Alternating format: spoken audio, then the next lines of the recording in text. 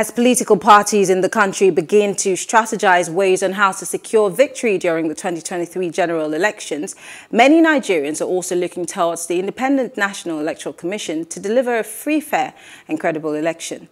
Despite the skepticism about the performances of INEC, a high turnout of eligible voters was recorded during the continuous voter registration exercise across the country, which indicates that citizens had shrugged off the past disappointments and are ready for the coming elections. Well, joining us to discuss these uh, is Dele Alake. He is the Director of Strategic Communication for the Tinubu Shettima Campaign Organization. It's so good to have you join us. How are you? Thank you for having me. Great.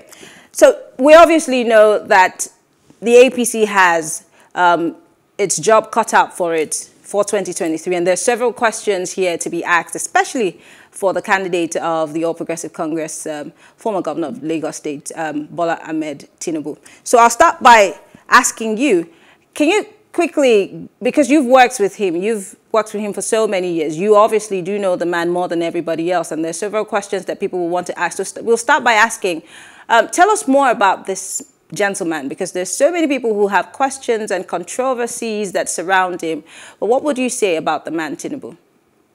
What I will say uh, briefly about the man, uh, Actually, a program of a whole day is not enough to talk about Bola Tinubu, but we can just uh, synthesize and, and uh, encapsulate the major points. Bola Tinubu is a thinker, is an unparalleled thinker, and is a doer. Now, in the life of Nigeria, and I've said this at various forums, we've not had or we've not been fortunate to have leadership at the center that has com combined the three critical attributes of a progressive leader, and that is vision, knowledge, and courage. Now we are having these three attributes combined in Bola Ahmed Tinubu, and there are examples on each of these attributes. There are examples of his vision, there are examples of his knowledge, there are examples of his courage, spanning across all the gamut of all human endeavor or public administration. Look at, let's give uh, uh, the most eloquent testimony of a vision. Look at Eco Atlantic. Eco Atlantic City, many years ago, was just water. Water. The beach was surging and was eroding the entire Amadu Bello way and reducing the value of the, of the, of the properties abutting that road, abutting the beach, and threatening the entire Victoria Island. And the federal government of that era was only pouring sands, Sand Philip every year. And the, the raging beach would, of course, eat up the sands within nine months. And Bola Tinubu said no. There must be a permanent solution. Dreamt up the idea of an Atlantic city, started the project in 2001 and successive governors after him, of course, continued it. And today, you and I can see what Eco Atlantic City is. It has attracted the, uh, the U.S. Embassy, is building the, its, its most, its largest embassy in the world on that, in that place. Uh, a $500 million foreign investment. That's an example of vision. None of his contestants, none of his opponents has that track record. Look at knowledge. When he got into office, the IGR, internally generated revenue of Lagos State, was 600 million. Some people are contesting it, and I count them as ignoramuses. They are ignorant. Uh, General Buba is alive. He's the chairman of NDLEA. He was the one that Tinubu took over from. General, they can go and ask him. General Marwa met the IGR of Lagos State at 300 million. He himself brought in a, a, a, a consultant and grew the revenue to 600 million. It was at 600 million when Marwa exited and Tinubu came in. And he brought in the mechanism, a new mechanism, and instituted that mechanism that started, you know, the IGR galloping, made the IGR to start jumping up. And he was plugging loopholes with technology in the payroll system, in administration, and plugging leakages, blocking leakages, the revenue started jumping up. And by the time he was leaving from 600 million, it was making the 7 billion mark. And today is over 50 billion. The same mechanism that instituted then has not been changed and it has been going up. And that same mechanism has been copied by several other states. And in fact, is moving out of Nigeria into some other African countries. That's knowledge. Okay. Now, take courage. When, when, when Lagos was 20 local governments, the, Lagos has arguably, debatably, the largest population in Nigeria. That is incontrovertible. Everybody knows that. Everybody from everywhere, even across West Africa, is flocking into Lagos on a daily basis. And Lagos has the tiniest land area in the entire country. Now, what that means is urban blight, concentration, a lot of hues and cries in terms of administration, in terms of daily, daily uh, exigencies of living.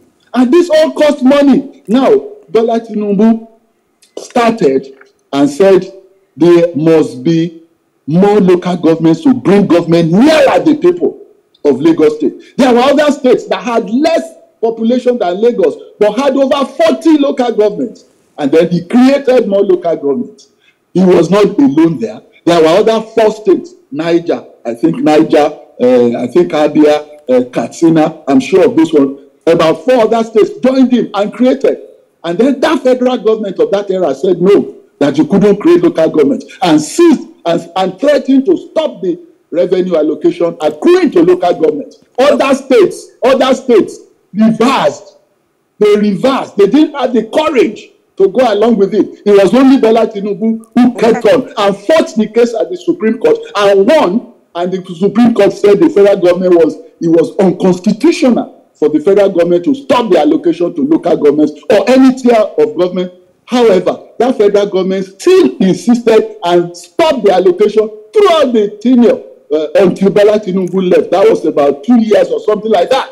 Okay. Now, yeah, today, today, most states are creating more local governments and calling it LCDA, local government development area, which was also a creation of Bola Tinubu. That is courage. I could go on and on. Well, because you, you said like because, we, because we don't have time, and you said that it would take us all day. You don't have to like Bola Tinubu's face, but there are certain things that facts are incontrovertible. Opinion is free. Facts are sacred. Okay. So, still talking about controversies here. Um, there are a lot of people who have different perceptions about the man, but let's talk about his education. Um, we know that um, you're here to, of course, clear the air about a lot of things. So help us clear the air about his um, education. What school did he, what what school did he go to? What secondary school did he attend? I mean, like I like I said at the beginning, you know the man. That, that, that, that is that is quite immaterial. And let me tell you why. No, but it's important to Nigerians to know the man who wants to lead them, who wants their votes. your question. You have to listen to my response, okay. and I'll tell you why. Okay. The Constitution spells, spells out the requirements, the educational requirements for qualification into various offices, either into local government, governorship, presidency, whatever. It is there stated. And what's the presidency? What's the qualification? I mean, requirement. It is you have to have education up to school start level. Up to. It did not even say you should pass it. It says up to school certificate level. Okay. Now, this man has a university degree, which is incontrovertible. Mm. It has been verified from Chicago State University. Now, what before then he was at Richard Daley College, which is a community college, which is pre-university. Now, those who have read abroad know what this is about. Now, in terms of uh, the elementary or, or, or high school or whatever, now it depends on your background. If you are lucky that you had a background, a privileged background, or parents who are well heeled, who could send you to all of those schools, you are lucky. If you are the type that was indigent, that could, you had to pull yourself up from the bootstraps, then you did what you call home studies. Go and ask the elders, what they know what is called home studies. You study at home, you work, you study at home, at home and you then take exams. And that's what this guy did. Studied at home, traveled abroad, and got into uh, uh, uh, Richard College. So, so you're saying that you're saying that the former governor of Lagos State was homeschooled because Festus Keyamo, at the, uh, you know, at, during an interview said that people didn't go to school at the time. So does this mean that he did not go to school, no, but no, he sat no, at home and wrote an examination? I, I was he homeschooled? Said, no, I don't think Keyamo said people didn't go to school. He said there was an option if you could not attend the formal school the former four walls of a school, you had the option of reading at home and passing exam. In fact, beyond that, there were also uh, what you called correspondence schools at that time, which was uh, pre pre uh, university, pre. You could even attend those evening classes and take your exams and pass your exams. There were various options at that time It's unlike now that you had schools in every corner or that you had more people uh, able to afford the school fees. If you are not able to afford this, this man should be given credit for bringing himself up from the from the lowliest of levels and attaining this height. And, now, and that's why I said it is envy. Those who had all the privileges cannot attain half of the uh, of the achievements of this. So they had to resort to all sorts of extraneous uh, uh, issues that really don't make the mark. The, the, the, the, the, the hood does not make the monk. It is the substance that comes out of you. How has this man been able to really make all these achievements? Where we have people who had all the privileges from elementary school to high school to university and all of that, and who couldn't make the mark, who could not acquit themselves creditably when it even comes to academics, intellectualism, and all of that. So this man should be given credit rather than piloting him out of envy, out of extreme jealousy. Okay. Let them compete with him. Still talking about controversies and questions that need to be answered because I do not know if the people who he's seeking their votes fall in the category of people who are jealous because do, do you not think that Nigerians deserve to know certain information about the man who wants to lead them? Uh, uh, but but I, I, go to my question. to know, but they deserve to know. But the people who are adumbrating and propagating these negatives are those who are jealous of him, who could not make his own attainment, so, so, not the voters. So even if even if this is the, the truth, why voter. can't the truth just be said to Nigerians and let's move on with it? But let, let's talk isn't, about his isn't health. Isn't that what we are saying? Isn't that what we have said? Yes. And we have said this. Let me tell you another thing. This is not the first time we are making this known. But you see, when you are consumed with envy and hatred, you refuse to assimilate the truth. It is that your fixation, your obsession that is in your focus. And that's what's happening to those. That's why they keep repeating and repeating and repeating okay. the same thing. Not because they don't know or they've never had. They know. Uh, Mr. Alake, let's talk about his health. Do you think also that Nigerians des deserve to know the status of Asiwaju Bola Ahmed Tinubu's uh, health? Um, there have there have been many videos, um, many concerns rather, about how he's faring and if he's fit for office. And this is not the first time Nigerians are asking the question. The same was asked uh, when President Buhari was running for this office. So can we know what his health status is? Very, very sound. The, the Nigerians have a reason, I mean, have a good reason to ask for anybody's health. Anybody that aspires to rule over them. It is their, it is their constitutional right to know the state of health of that person. So I'm not uh, judging anybody for asking for a state of health. But what we are saying is that, hey, this man is, is healthier than even his most ardent critics. And I'll tell you why and how. If you do, I always tell people, please do a critical analysis, especially media folks. I'm a media person myself and trained to boot. And during our time, we were trained to critically analyze, not to accept insinuations, rumors, innuendos, hook, line, and sinker, and begin to propagate it. Now, Asiwaju Bola Ahmed Tinubu, before the primaries, tell me which of the aspirants that traversed the length and breadth of Nigeria, canvassing for votes from delegates like Asiwaju Bola Ahmed Tinubu. And every all through the period they were saying he was ill, he couldn't move, and he was moving all over the country. He was traveling. Even younger elements didn't have the same stamina. And tell me, even after the primaries, when he became the candidate, tell me another another person that's been moving around, consulting with all categories of, of, of people, interest groups, voters, and all the all, all that. And apart from all of this, these are things open to the public. Let me now tell you what's not open to the public, which some of us are privileged to have known for, for decades with him. If you work with Asiwaju, that's when you will know the man's style of working. He, he rarely sleeps.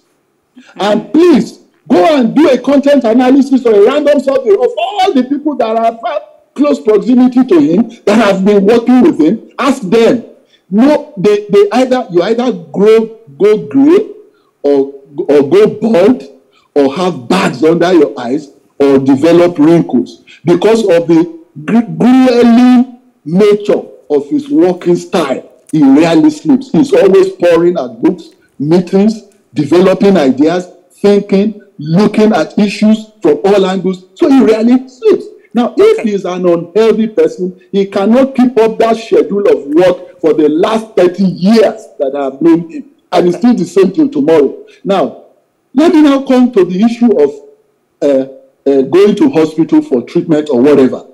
Who, including you, who is very young now, don't you have headaches, occasional health issues that you have to call your doctor and all of that? As a human being, Everybody goes through that. And that is not a big deal. That is nothing. And let me tell you, God forbid, don't young people fall, fall, fall down and, and pass. Elderly people fall down and pass. Middle-aged people fall down and pass. Only God has the power of life and okay. death. All right. Let's move on. One, one final question about the man, and then we'll go into the politics of the, um, you know, the politics of the APC.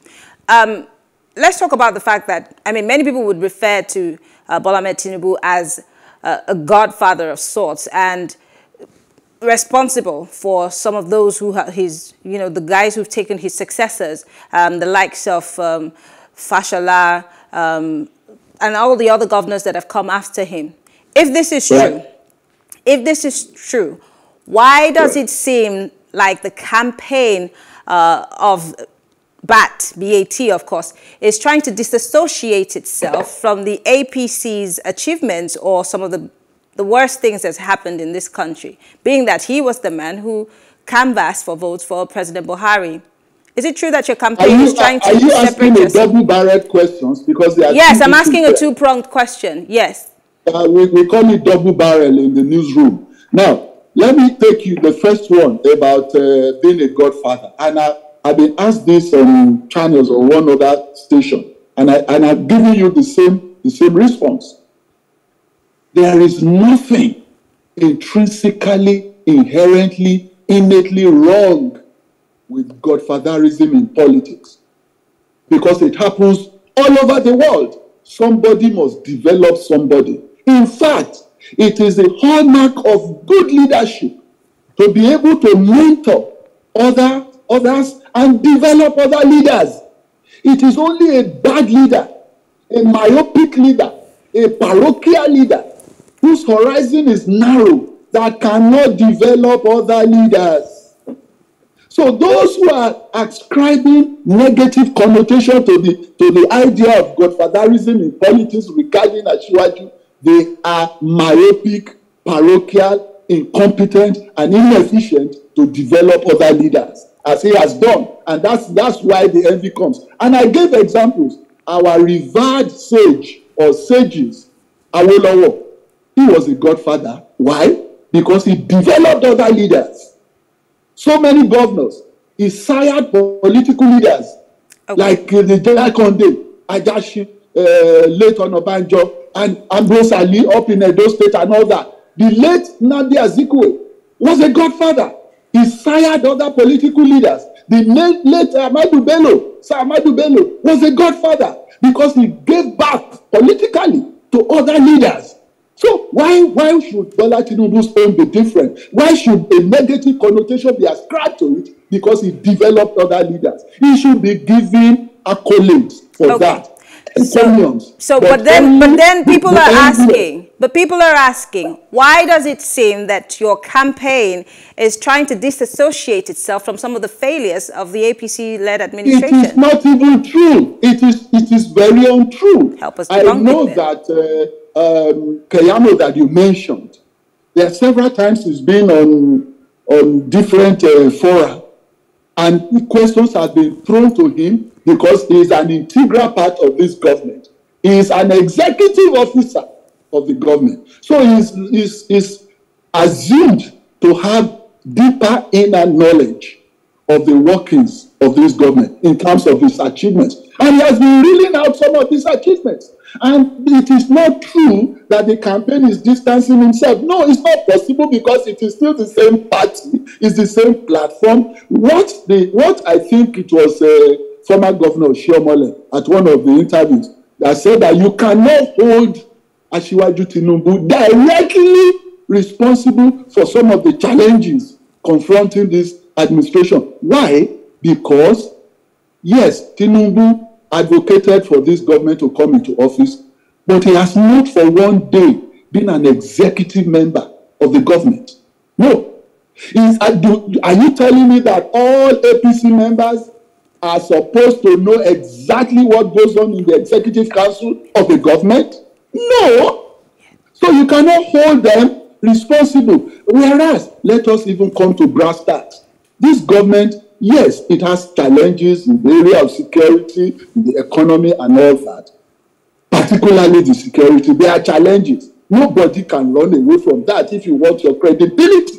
Okay. You know, to be sacrosanct. However, What we are saying is that even if your son, if you are president today and you, you had to hand over to your son, your son will still have certain things. Maybe his style of administration, his approach to issues will be quite different from All yours. Right. That does not mean that your son is no longer your son. So let me ask a quick question before I go into the, the party politics because we're almost out of time. So you're saying to Nigerians who are watching now that the Buhari administration have, has done really great and, and that your your mm. your mm. candidate mm. that your candidate as if he were to if he were to be president will continue on those gains if there be any? This is what if you're saying to nigerians gains, and there are gains let us be factual and objective i'm, I'm sorry mr Alake i just want a yes or no answer so i can i'm so sorry the, the, the government has done fairly okay. Great. In fact more than average in infrastructural development only and we are also infrastructural development. And, and that's all that Nigeria seen, needs right now. Seen, have you ever seen any government? and, and that's all that we need right now.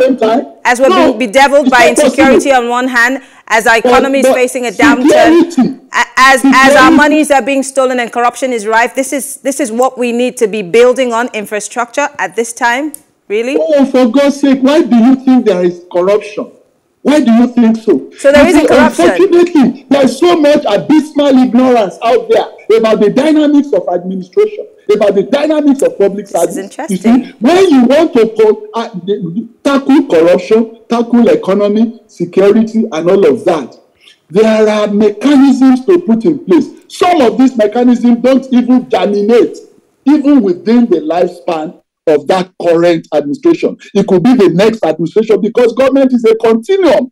And some of these things have gestation periods. So that, that I say that the government has done fairly okay in infrastructure does not invalidate its area of challenges. No, do not put words and, uh, uh, into my mouth or misconstrue what I'm saying or misinterpret it to the unwary public. No, I'm not saying that it does not have challenges. I'm saying that it has recorded remarkable success in the area of infrastructure. Infrastructure. That does not, that, that does not invalidate the challenges, not at all. Okay. And all we're right. saying that the coming Tinubu government is going to take all of those challenges, confront them because of his track record.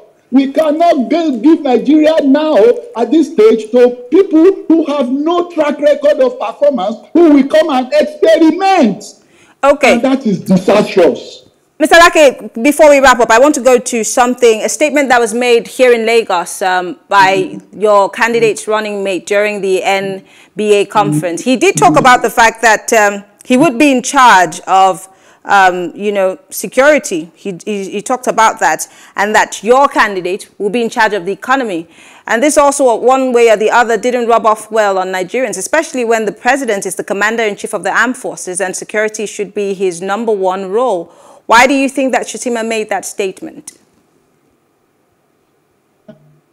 Himself is a human being. And there are, every human being, including yourself, is so, and myself, is subject to slips. What Shettima wanted to tell you was that the commander in chief could or may ascribe that portfolio to him. Constitutionally, the president uh, the president gives assignment to the vice president the vice president is as as assigned his duties as assigned apart from being uh, chairman of uh, the economic council and such other constitutionally stipulated rules so that is not such a big deal to now begin to adumbrate all over the place okay. and making a mountain out of a molehill it isn't okay. everybody knows commander-in-chief remains the commander-in-chief. All right. You can appoint somebody from outside the, uh, the, the, the, the, the, the circle, the loop of government, to be in charge of security if he so decides. Okay. If he so decides. So the, the buck stops on the table of the president. All right. Finally, finally, I want to ask you this question. If I don't ask you this question, I don't feel like we've done justice. Um, finally, what do you think about the Peter Obi phenomenon? I mean, I mean, I've heard people who support your candidate say he doesn't have a structure, etc. But do you think that the Peter Obi phenomenon and, of course, the wind or the wave that comes with it is something for your party to worry about? No, Peter Obi is a fluke.